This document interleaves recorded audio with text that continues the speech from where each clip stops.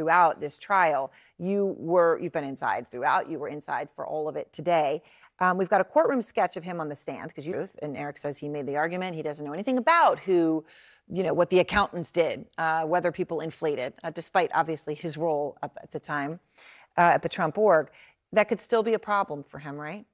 It could be a problem for him in multiple. But at the other hand, it also suggests that he's not really practicing due diligence. That's in fact part of the allegations, and the um, the, the, judge might make a credibility determination, and that's important in terms of if the, the judge determinations that he doesn't find some of the witnesses credible. That is. Where do you think Eric? He's going to be back tomorrow, right? This this almost had been delayed by a day, right? Because right. uh, Michael McCarty. Uh, there is at least one example of Don Jr. and some assets there. Trump's uh, three-story penthouse at Trump Tower. Overstating, and there's sort of you know there's poetic license in real estate. Three hundred million dollars for a penthouse uh, years ago. That that's that's not in that realm. No, it's not. It's an order of magnitude. so out of it. So. Very much. I appreciate it. But what else did you find?